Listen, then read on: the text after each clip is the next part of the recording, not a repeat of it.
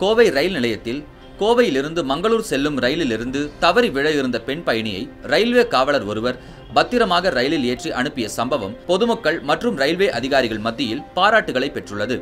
இன்று காலை சுமார் ஆறு முப்பது மணி அளவில் கோவை ரயில் நிலையத்தில் உள்ள நடைமேடை எண் மூன்றில் கோவையிலிருந்து மங்களூர் செல்லும் எக்ஸ்பிரஸ் ரயில் வழக்கம் போல வந்தது.